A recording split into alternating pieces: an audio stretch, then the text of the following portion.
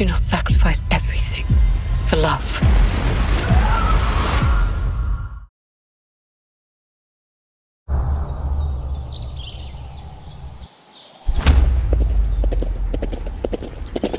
I don't feel like the future is my time anymore.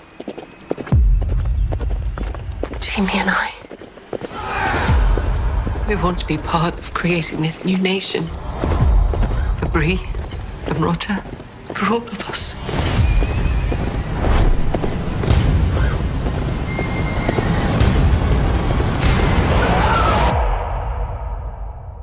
Would you not sacrifice everything for love?